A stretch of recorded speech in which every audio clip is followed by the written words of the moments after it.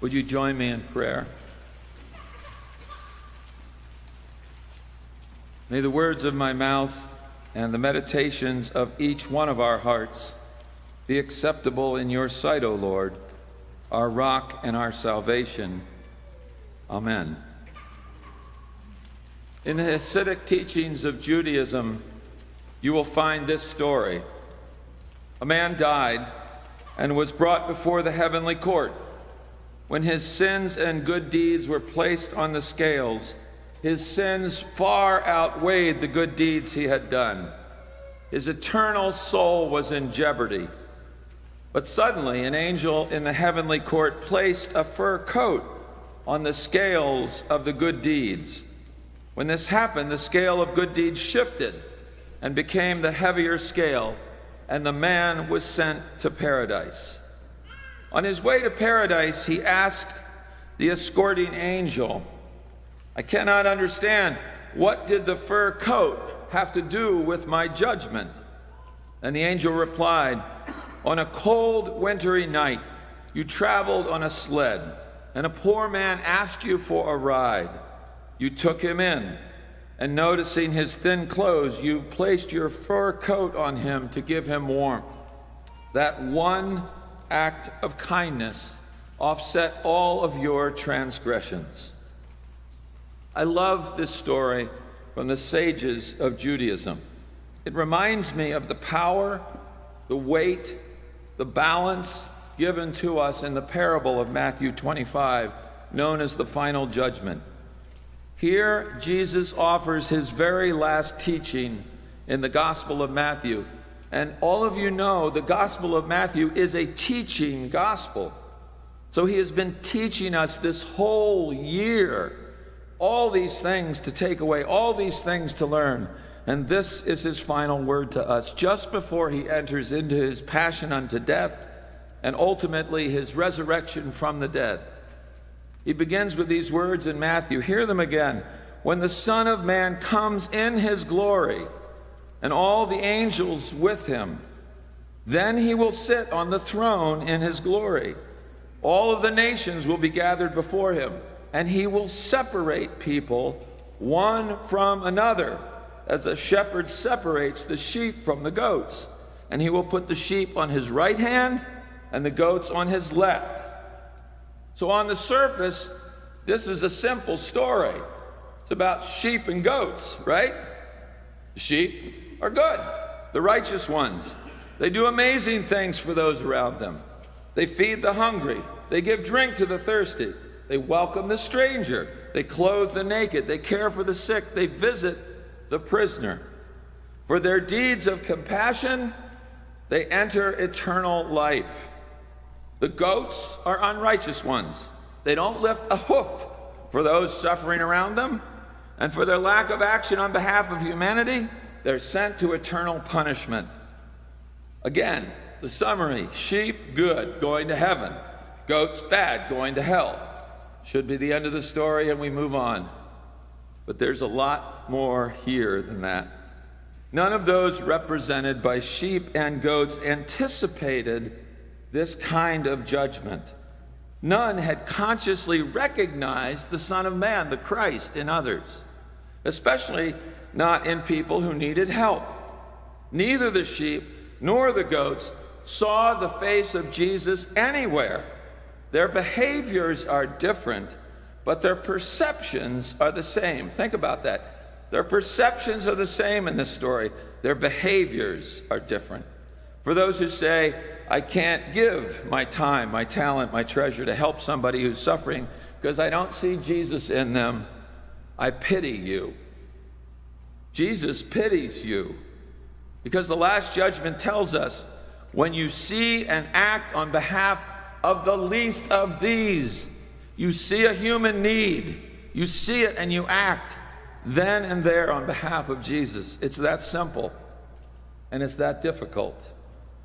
Simple and difficult may be the best way to describe the challenges any of us face when encountering someone in need in our lives.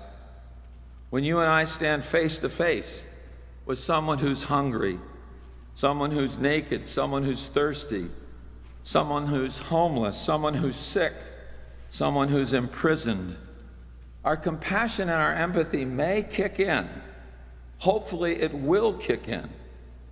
I pray to God that each of us will see another human in need and respond. But the divide between simple and difficult grows if and when we do not, or worse yet, will not see the other as human. This truly comes to light when terrorism and war enter the human connection between and among people. We have witnessed the horrors and the ugliness of terrorism in our nation on September 11th, 2001. And in the last few years, in the unmitigated and audacious attack uh, on the Ukrainians by Vladimir Putin and the Russians in February 2022, and now the terrorist attack by Hamas on October 7th, which left more than 1,200 men, women, children, and babies dead in southern Israel and 240 hostages taken. In each case, the inhumane assault on innocent men, women, and children triggered a defensive and ravishing response from the aggrieved and wounded nation. No one can deny that.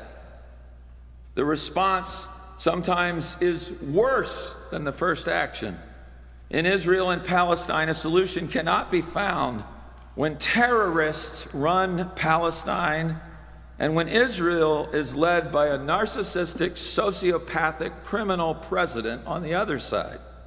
A man who has shown for generations that he looks out only for himself and his own interests.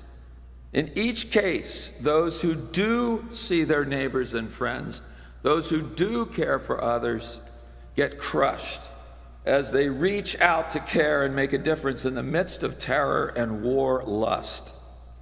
Inside the conflict, they must rise and be heard and be the guides for setting up a better future for all people, in this case, Arabs and Israelis, Jews, Christians, and Muslims. And as we've come to know through the release of hostages, international people working in the land who live in Israel and Palestine. Roger Cohen, writing from Jerusalem in the New York Times just a few days ago, in a piece entitled Between Israelis and Palestinians, a Lethal Psychological Chasm Grows, made this observation. In a conflict marked by complete incomprehension on both sides, the ability to see each other as human has been lost. He quotes Mohammed Darawshe, the director of the, the Strategy uh, Institute of Givat Haviva Center for Shared Society, who promotes Jewish Arab dialogue and is about an hour's drive north of Jerusalem. He says, each side begs for the status of a five star victim. If you are stuck in victimhood, you see everyone else as victimizing and dehumanizing.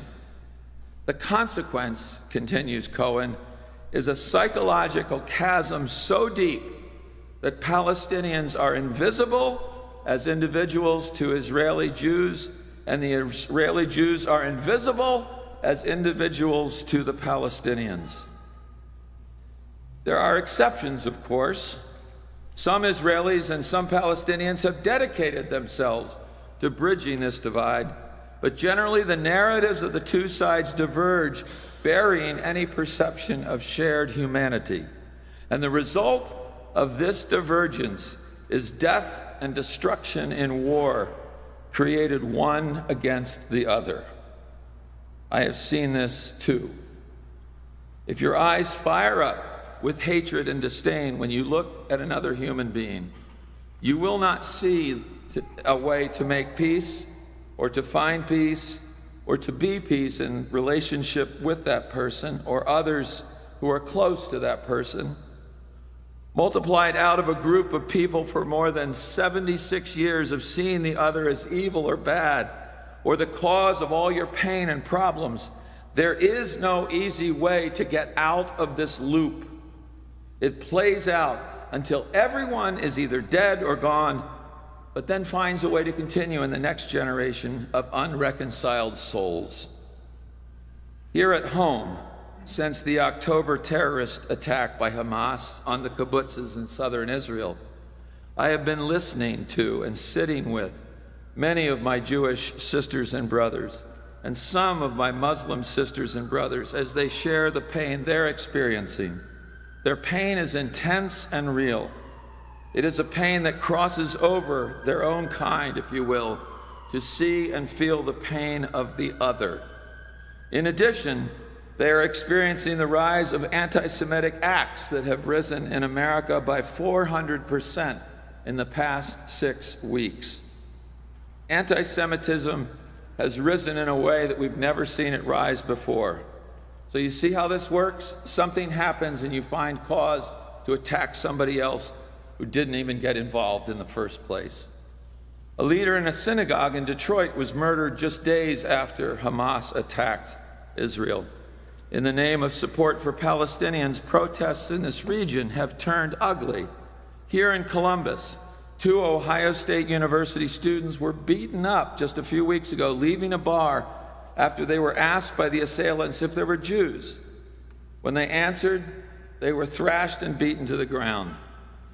At Hillel House on campus that very same night, the place was vandalized by people screaming insults, tearing down the Israeli flag, and destroying the property. In high schools around the area, we have seen a rise in anti Semitism. In the high school from which my children graduated, Worthington Kilbourne High School, there was a walkout in support of Palestine, which vilified Jews, and students were approaching Jews in the hallway making the Nazi salute of Sieg Heil as they passed their classmates on their way to the next class. Just let that sit in. One Jewish teen who's a friend of our family told her father, I was fearful that day that all of my friends would get up and all of my classmates would get up and walk out and leave me in the classroom alone because I was a Jew. Wow. I can tell you this you and I cannot stop the war in Israel and Gaza all by ourselves. We can share whatever it is we feel about it, but we can see our neighbors right near us. We can rise up. We can protect them and others who we do not know. Remember that it was silence that gave the Nazis the green light to keep eliminating and destroying Jews in Europe and North Africa. The Nazis counted on the lack of response to destroy Jews and wipe them from the face of the earth, which is the ultimate definition and practice of genocide. In his poem, A Servant to Servants, Robert Frost wrote, The best way out is always back through. Perhaps this is what Jesus was saying in his final words to humanity. You see, I think Jesus was really worried about us. I think when he delivered this last of his stories, his parables, he was worried about the poor who were being abandoned. He was worried that he had given himself over to them throughout his life, and soon he would be gone. And who would care for them next? I think he was really worried. He was trying to say to humanity, you can do this. We cannot get out of a loop of disdain and distrust and hatred if we simply practice a life philosophy of fight or flight. We have to go back through and find our way out of one loop at a time in our lives we can be freed from our psychological and spiritual loop by seeing and doing in relation to others. When we see the other and when we do the right thing for them, we break the cycle which intends to hold us captive.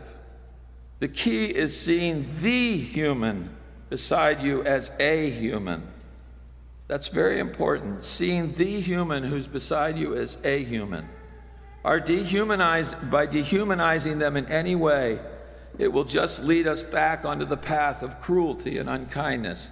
One which i know we don't want to do knowingly but we can do unknowingly.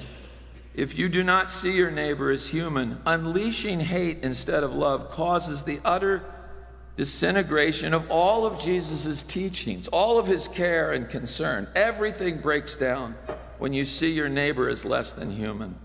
Conversely, everything moves toward hope and healing when you see your neighbor as human and care for them. There is a lot to be said about doing the right thing without seeing God in the action. In other words, doing the right thing is not transactional. It should not be something you do to get anything back for what you did. It should be spiritual, it should be ethical.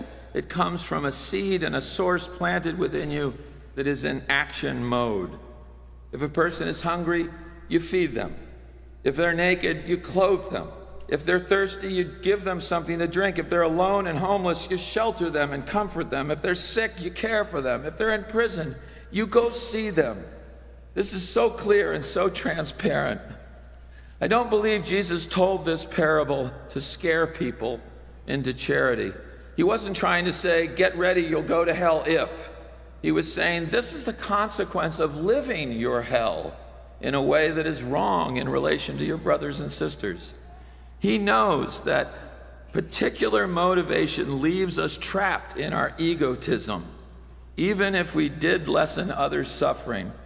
Jesus knew that the genuine encounters that we have with the poor and all who are in need enlarge our heart and our vision as a giver. Solidarity makes us human. He invites us to know Him in relationship with His beloved poor. He gave His life for them and for us. And when we fall in love with Christ in the poor and those who are suffering, we identify with the poverty and the pain that is in Him. When we do this, we will want to serve Him with them. The reign of Christ in Matthew's final parable encapsulates the gospel, full of ironies and twists, firsts and lasts, losing life and finding it.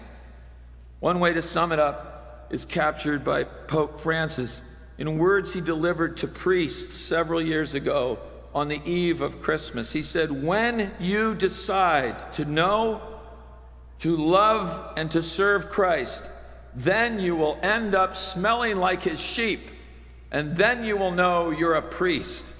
That's a good word for every single one of us. When we start smelling like sheep, we know it's working. As Jesus points out, the person who meets another human being where they are and serves them in their place of need is blessed.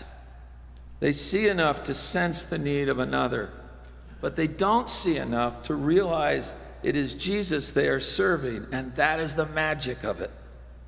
The final lesson of life and faith that he leaves for us in Matthew's gospel is so profound that we do it a disservice to talk it into the ground.